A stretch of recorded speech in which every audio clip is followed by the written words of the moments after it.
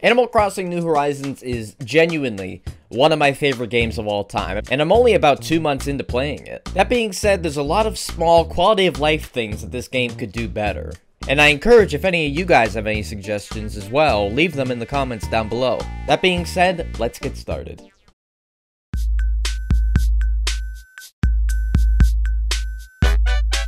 Bulk crafting is first on this list because, frankly, everybody who has played this game, even a little bit, has been begging for it. Especially how discouraging it is to craft stuff like bait. When you need to get that specific fish and you need to craft a lot of bait, your entire inventory is full of manila clams and it takes literally like 10 minutes to craft each and every one of them into bait. You're just sitting there, you're spamming A, looking at Reddit or something like that while you're doing it, when in reality it could just take seconds if it said, hey, how many do you want to craft? And this goes for more than just bait. More often than not, a lot of people have been in a situation where they want to craft more than just one thing at a time. This is a much needed feature that is frankly inexcusable that it's not in there yet.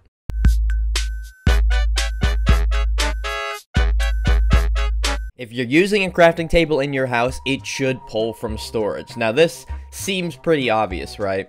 It's very frustrating and very inconvenient to have to go into your storage, pull out what you need, craft what you need, put it back into storage, and then be on your merry way. When in reality, all you should have to do is walk in there, access your crafting table, and immediately it should use all the materials that are in your storage to list all the things that are craftable for you.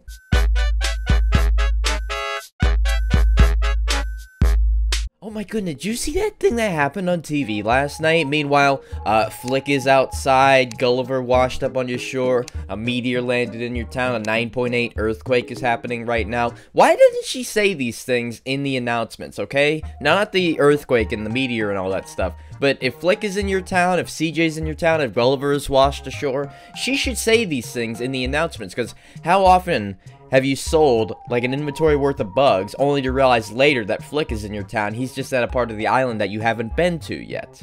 This could all be alleviated if she would just say if any special NPCs are visiting you right now. It'd be a lot more interesting than seeing that a sock washed up in your drying machine last night.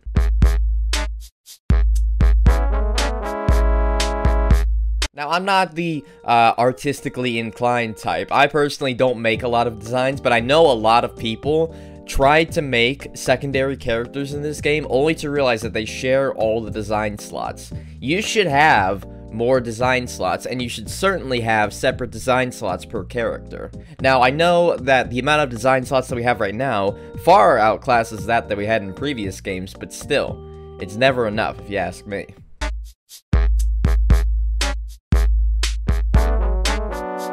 Hey, you got uh, you got too much shit littered all over your town. You got to clean that up. Oh, I'm sorry. If I actually had a place to put all my turnips, my DIYs, my flowers, I would actually clean up a little bit around here. It's honestly so stupid that you're not able to store these things because you were in previous games. Now, DIYs weren't a thing, but turnips you were always able to store in your storage in New Leaf. Same thing with flowers. I have a ridiculous amount of flowers around my town that I just put on the ground or throw away or sell because I don't have anywhere to put them. Now, I always thought that it would be a good idea to get like a special item from maybe Blathers or something like that, like a, a greenhouse storage or uh, something like that. Your DIYs can maybe be stored in a workbench for when other people want them, and your turnips could be stored, I mean, heck, in your storage, God forbid.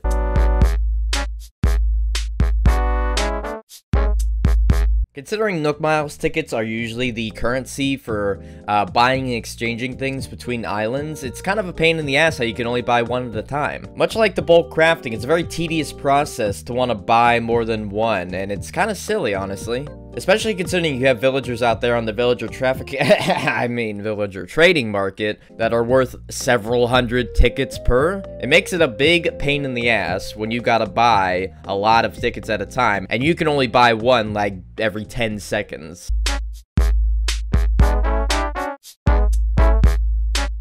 I'm always very hesitant to bring over a lot of people over to my town because of how long it takes to load everyone into my town. Now, this would not be a perfect system, but I think it would be a lot better if you could queue a group of people into your multiplayer session. So instead of a dodo code for everybody, what you could do is a uh, group dodo code to where you have seven people that want to visit your island that all plug in that dodo code and then get put in a lobby. And then once that lobby is full, or once a uh, countdown is done, then everybody in that that lobby will be flown over to your island at the same time, as opposed to each and every single person punching in that dodo code, coming over one at a time, getting errors uh, for interference when somebody's traveling at the moment. It's a huge pain in the butt, and I don't think that would make multiplayer perfect in this game, but it would be a heck of a lot better than it already is.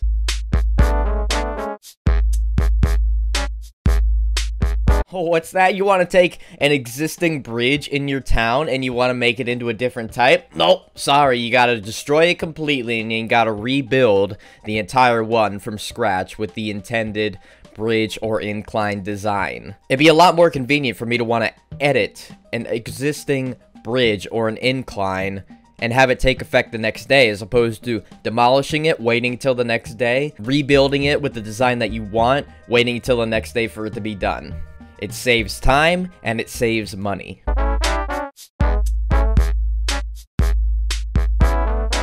Have you ever wanted to move a house or a building just like a few blocks uh, in any direction, only to be said that you're interfering with the already existing building right there? You know, the one that you're trying to move. So instead what you gotta do is you gotta move it halfway across your island and then bring it back the next day. Now similar to the uh, bridges and inclines, it's just another day and more money that's wasted in this whole process. When in reality, there should be no reason why I can't just move it a few spaces in any direction.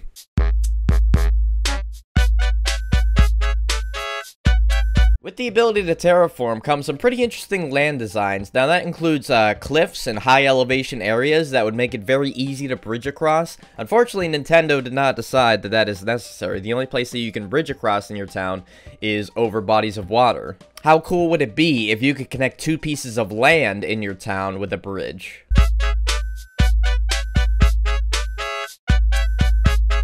I know the 5 item limit from your catalog has been a thing in previous games. I'm pretty sure it's always been 5 items, but that's no reason as to why this game limits it to 5. But I really don't see a reason as to why the arbitrary 5 limit is still a thing.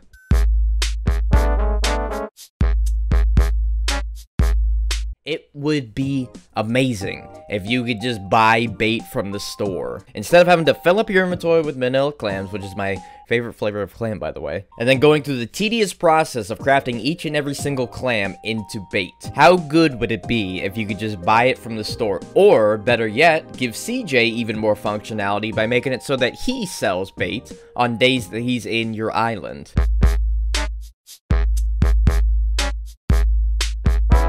Along with that, why can't people who are visiting your island interact with CJ? Only the island host can use CJ or Flick when he's on your island. I don't understand this. I, I don't I don't get this one at all. I don't know why visitors can participate in the uh, bug and fish tournaments and yet not sell fish to CJ and Flick when they're in a town that isn't theirs.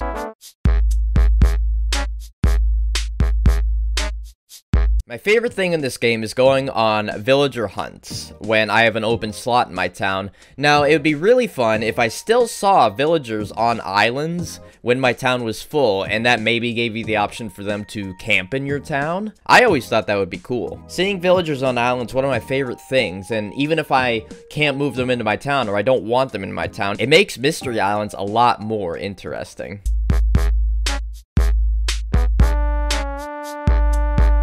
A durability indicator would be really nice for our tools. Now, in previous games, uh, we had a durability indicator on our axes, which were the only tools that could break, and the indicator was just showing, like, cracks and wear in the axe in general. Even something small like that would be nice, not like specifically a bar a la Minecraft to tell you how close your tool is to breaking, but just something to indicate that it's close to death.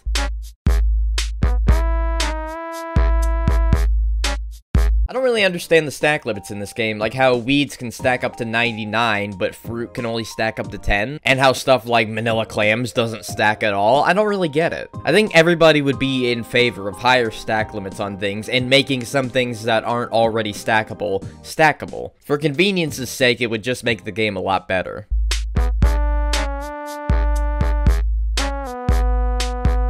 Tools breaking in Animal Crossing is already a feature that's kind of come with mixed reception. So why is it that the golden tools that we've worked so hard for still break? Now granted they have a lot more durability than regular tools, but in my opinion, we have to work really hard for these golden tools only to still be met with the same fate that regular tools have, in that they break after a certain amount of uses. It sort of takes away from the achievement of working so hard to getting these tools in the first place, if you ask me.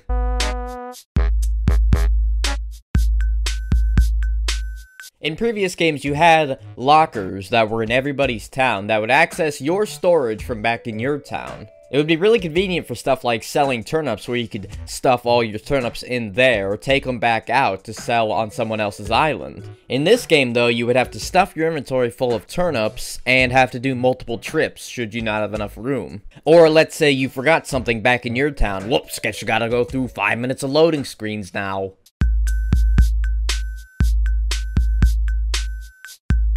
How many times have you aimed your shovel or your terraforming tool in one direction, only for the game to be like, nah, you wanted to go to this direction instead? A tile indicator to tell you which block you're placing something on, or which block you're destroying, is a much needed feature that seems like it should have came naturally with the ability to terraform.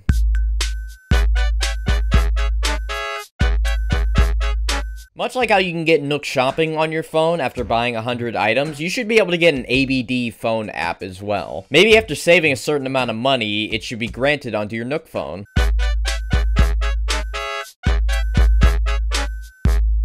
You're going to craft a customizable item, it should give you the option to customize it when you craft it, as opposed to having to make it and then customizing it afterwards. Along with that, after I'm done crafting something, it should allow me to switch to customize, as opposed to backing out, re-accessing the workbench, and then going to customize.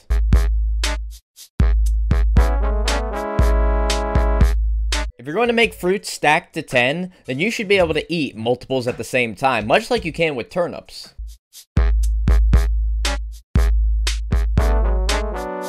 Being about two months into the game right now, I'm already getting a lot of duplicate DIYs. I wish they were more weighted into giving you ones that you don't already have. It seems like that's the case with the ones that wash up on the beach, but the ones that I get from my villagers are basically always duplicates anymore.